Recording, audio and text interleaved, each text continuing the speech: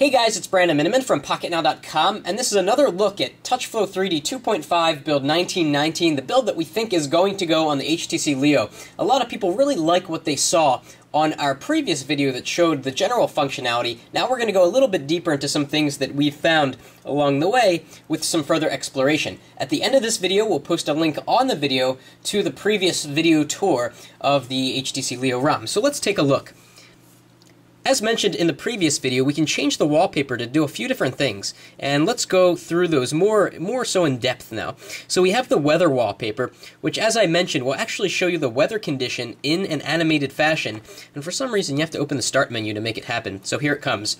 Clouds kind of fly in. If it's raining, you'll have uh, raindrops. And what's interesting on this ROM is I didn't set my location. It automatically set my location. It knows that I'm near Philadelphia in Pennsylvania, and it automatically adjusted the time and the weather to my location, so very cool. Let's take a look at the other backgrounds that we can choose. We have several animated wallpapers to choose from, and we showed you just one in the previous video. So let's go to this first one here. It's kind of a purple background, and you have to wait a minute to actually see the animation come through.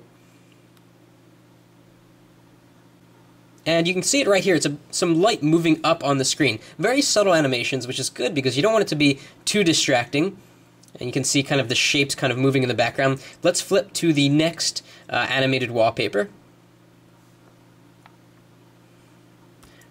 This is my favorite. We've seen this before. You get kind of little small colored dots bouncing around on the screen, kind of like colored water droplets. There they go.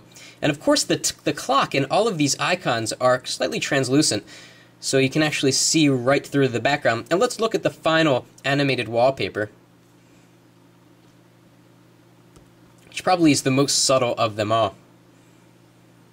And we just get sort of splashes of color in the background. Now, obviously, you can have just a static background if you want, or you can have the animated wallpaper. Now, let's go over to the Weather tab, and I can jump right there by tapping on the Weather icon. We have something new here. In all the other versions of TouchFLO 3D, you can flick your finger to go to the um, other cities that you have listed here. But the problem is, what if you have number 7 set at something that you want to be number 2? Well, now you can actually rearrange those. And let me show you how to do that. You go into Menu, and this is new, Rearrange Locations. So now kind of like the Settings tab that lets you move around the TouchFLO 3D tabs, you can do this with weather. So you can move Tokyo to slot number 2, and click Done. And now slot number well, actually, it's slot number three is Tokyo.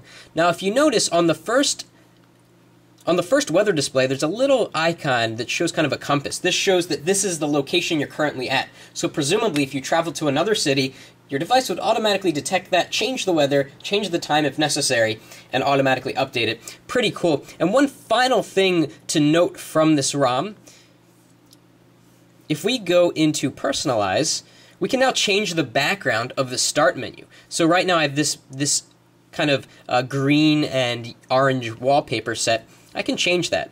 So it's actually called the lock screen wallpaper. And so let's choose just this sort of gray background. Nice and solid. This is also the new waiting cursor for the HTC Leo. If we go to the start menu, we get the we get this new wallpaper, and if you go to the lock screen, it's also going to be present there. So again, that's just another quick look at some other features of the HTC Leo ROM on TouchFLO 3D 2.5 build 1919. If we find more things to show you, we'll make another video, and be sure to check out our previous tour of build 1919, which walked through the Twitter functionality and a lot of other new changes. The link is on the video right now. That's it for now.